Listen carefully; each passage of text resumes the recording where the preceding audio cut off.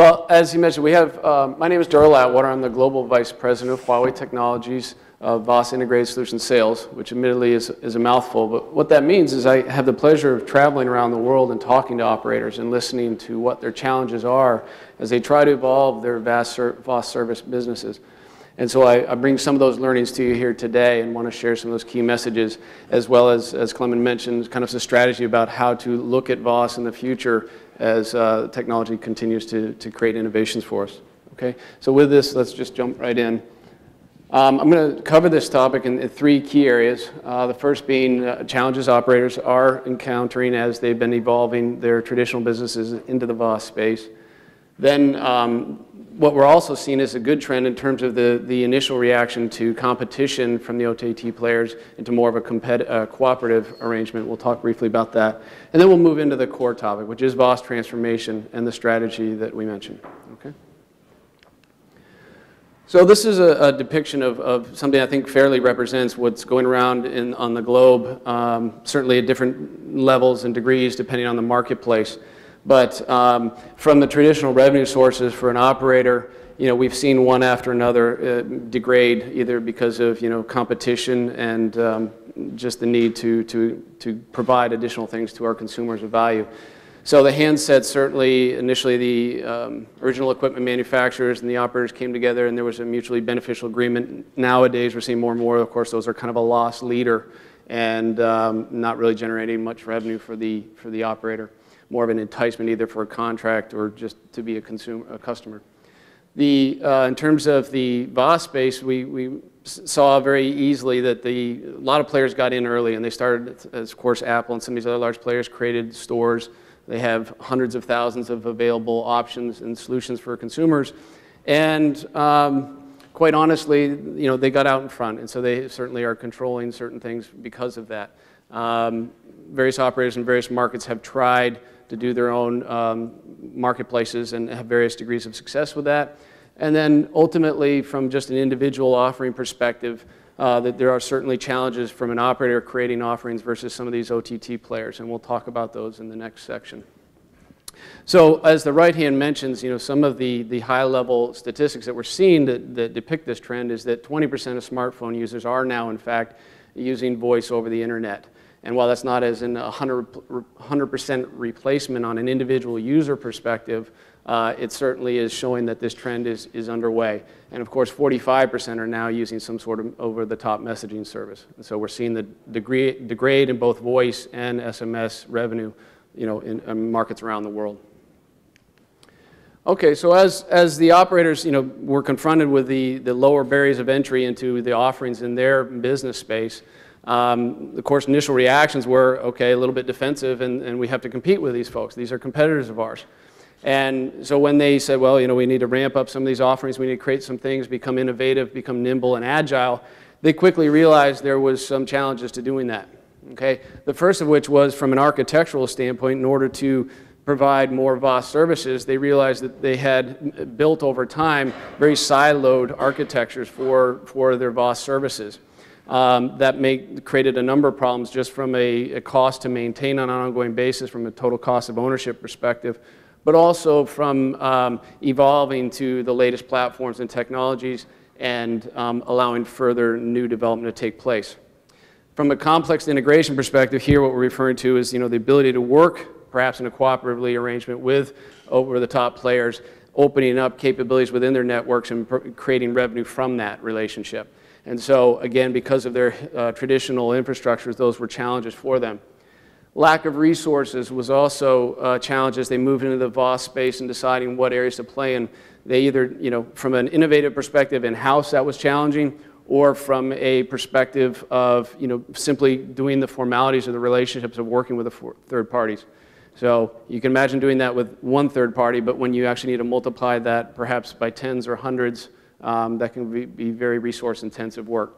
So all of these, you know, initially, or all of these led to things like slow time to market for offerings they were creating and evolving, as well as losing their position as the OTT continued to kind of get ahead of them in the latest offerings. Um, and, and, of course, they were continuing to see low revenue um, results from, from what VAS areas they did, did move into. Okay. So the new paradigm, now this is where the story starts to shift a little bit, and we've seen this in the last six months to a year, um, which is a good thing, and that is that um, no longer are operators and OT players simply looking at each other as competitors. They're starting to realize that this VAS arena is very complex. Everybody has a role to play in it. And by working together, actually, everybody can win, including the end user from a customer experience perspective, but also from the nimbleness that it allows them to together to move into new areas and, and new, new vertical industries um, as, as technology evolves. So I won't, you know, for the sake of time, I won't read through each one of these, but suffices to say there's things like I mentioned sometimes from a resource perspective or nimbleness or lack of deregulation, the OTT players have a little bit of advantage. From a maturity and relationship with a customer and being known in the marketplace, the operator certainly has an advantage in that perspective. And so when they, when they bring some of these, um, you know, joint features together, they're able to create uh, a very valuable and strong relationship. And, and like I said, everybody benefits. So a recent study that Analysys Mason did, you know, did show that this trend is in fact occurring and that the operators are, are changing their perspective on things and seeing that 70% are now willing to, you know, consider a more open relationship with OTT players. And likewise, OTT players and, in fact, device uh, manufacturers are willing to open up and expose some of their core assets as well. So this is, this is a good trend for everyone. Okay, so with the time remaining now, we're going to get into the core topic, which is VAS transformation. And as, as we kind of led off with, this is, uh, want everybody to think about this as a definition for VAS transformation because there is some confusion out there. And so for the context of today's discussion, I want you to think about VAS transformation as an initiative or a program, comprehensive in nature across the business and IT departments, so that in fact there's not only just the vision, but there's also the cohesiveness that you need to, to successfully uh, execute that VAS strategy. Okay? So, in, in terms of a simple definition, it's the alignment of people, processes, software, technology, partners, and business environmental factors all brought together in your strategy and to align to ensure the greatest success for everyone revenue So ACE is an acronym that is, is, helps us kind of get our arms around VAS transformation as a subject or as a, as a program initiative that uh, we would encourage operators to undertake in-house. And thinking of it more of as a journey, something that will occur in phases. It's not unlike the, um, you know, what I'll call the one customer view or CRM uh, initiatives that we're doing in the late 90s and in the 2000s, where the goals of operators were to try to plug those servicing holes and have true visibility of their customer from you know, first point of contact all the way through to the end of the relationship. It gave them insights into marketing and all kinds of other operational efficiencies. So it was bringing, again, it was bringing systems together. It was getting rid of redundancy. It was getting better access to consolidated data with, with VAS transformation, you're very much kind of in that same vein. You're looking for a strategy to look holistically, as I said, across business on IT. So the ACE stands for um, value chain aggregation is on the left-hand side here. What we're talking about there is identifying those, those services, whether it be contact, uh, excuse me, content or services that you want to offer to your uh, customers and, and identifying those and then defining how is it that you are going to work in a relationship fashion with those third parties. Are you going to try to do that in-house with the resources that you have? Do you have efficient and lean um, and short time to market, if you will, processes that for everything from identifying the parties that you want to work with to assessing them to monitoring their ongoing performance for you and your customers as, and, and going through the contract and onboarding process, okay? So there's a number of decisions operators have there in terms of doing things in-house or perhaps you know, looking to a partner to specialize with some of that and outsource or manage service some of these things. From a platform consolidation perspective, um, here we're really talking about uh, technologies and solutions that help expose the operator's network to third parties so that perhaps they can um, look at strategies like using APIs to derive revenue uh, models for third parties, access to their capabilities of the network, horizontal platforms like service delivery platforms that allow you know, exposure of those capabilities more easily, managing the subscriber information, linking into the other provisioning systems and the charging and billing systems for the operator, and uh, giving a point where the third party can more easily interact with and learn about how they need to uh, integrate with the operator. So um, also within this space is technologies like VAS Cloud. So if you have typically, we'll talk about this in a little bit more detail in a moment, But a lot of times, as I said, you had inherent architectures that were very siloed in nature when it came to some of the core VAS, traditional VAS services. And so as those migrate to new technologies such as the cloud, you're able to you know, reduce licensing costs and other, other advantages, and we'll talk about that in a minute more detail. Uh, operational excellence. Now, this is again a key component because it's not only the business vision, but it's uh, you know in terms of product strategy, go-to-market, pricing, all these kinds of things. But it's also how are you going to do that and who's going to do that. You know, is the operator going to provide over, oversight to an, uh, you know, an entity that perhaps does it in a managed service relationship? Are they going to do it in-house? Um, are they going to have contractual arrangements to make sure that performance is at an acceptable level? Okay. So we'll talk about each of these three areas um, quite quickly here. So traditionally what we saw, you know, a lot of operators as, as the evolution of things occurred, they went out and they, they saw the trend, they wanted new revenue sources, so they went out and tried to identify, uh, which is represented by the small little boxes there in the middle, uh, third parties, whether it be content or services um, that perhaps their customers would take hold of and, and consume and, and, generate revenue from that. Um, course, as I've mentioned, a number of the challenges already in doing that, just in terms of the pure volume that's necessary and, and the time it takes, uh, as well as perhaps the in-house expertise that may not be present to do that.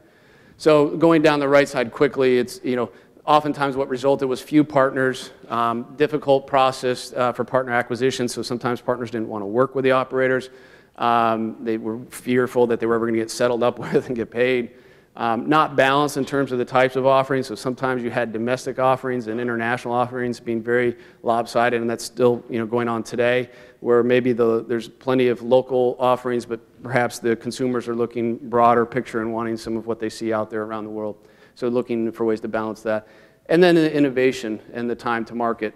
Um, you know, that, that's a key thing here is, is how, how can an operator possibly, you know, um, keep on the leading edge of the right offerings and these types of things. So. So one of the options that an operator can have to overcome this challenge is they, as they define their VAS strategy and how they're going to orchestrate it. Um, value chain aggregation does look at simplifying this process so organizations can come in and play a value, uh, value service aggregator role and that allows and where what their role is is they will go out um, and, and essentially form relationships with these third parties do all the partner sourcing the qualification the management and so on taking that uh, off the shoulders of the operator allowing them to to have one point of settlement with a central party and essentially greatly diversify and speed the time to market for new offerings. So they're more, more looking at a menu of, of what they could add as opposed to you know, spending time in a lot of logistical red tape that slows down time to market. Okay. Um, we talked about platform consolidation. On the left-hand side, you know, th this is a typical representation. Um, it, it, essentially is showing that in, in many operators, what we've witnessed around the world is that each of the traditional VAS services were very siloed architecture, perhaps by different vendors, uh, different service level agreements, and these sort of things. So there becomes a point in time where you have to look at the useful life of things and decide when it's time to progress and move to uh, you know, perhaps a new solution. But as a stepping stone, many of them are looking at, like I said, service delivery platforms which expose and help to align the communication in a more simple manner, um, giving a, a, greater flexibility to work with them. Um, other technologies are the cloud, and all these are meant to reduce total cost of ownership, to drive more revenue, to allow the operator to get to market more quickly with new services and offerings for their consumer. And again, just I'll, because I've, I've, got one more area to cover, but I'll just mention it here. Is the key thing to remember is that I'm not suggesting that all this be done at one time. Right? I'm giving you a lot of information because we've got a very short period of time. And VAS transformation and VAS services in general is a very huge topic.